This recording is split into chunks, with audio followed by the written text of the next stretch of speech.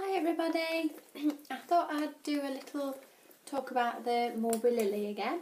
Um, this is an oak coloured one, but I just find it really useful when you're looking to treat yourself to a new mulberry and it's nice to know the different colours. Sometimes when you just see the colour on a screen, it's really hard to get a feel for it. So I thought if I did a, a little show on the oak one, you'll get an idea of what they look like. This is a oak coloured one. It's got the rose gold hardware. If you can see, it is a it is a used one. She has got a few scratches on the lock plate, but not too bad. Um, and she's like quite crinkly leather. I'm not sure what the name is for it, but it's really, really soft and squidgy. It's really nice. And it comes with a rose gold chain as well. I don't know if you can see that and then it has the rose gold again because it's an older one she has the a gold horseshoe with the Mulberry logo on. And then inside her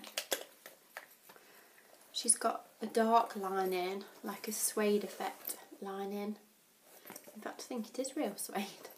Um, and then she's got a gold tag inside with your ID number on the back but it's a really, really nice colour. It's really neutral. You can wear it with anything. It matches lots of different outfits.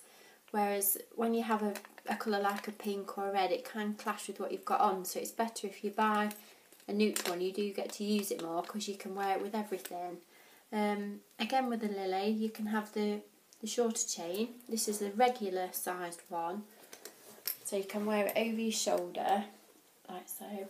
And then it also the great trick with the lily, you can slide this strap up and then you can wear it across your body like so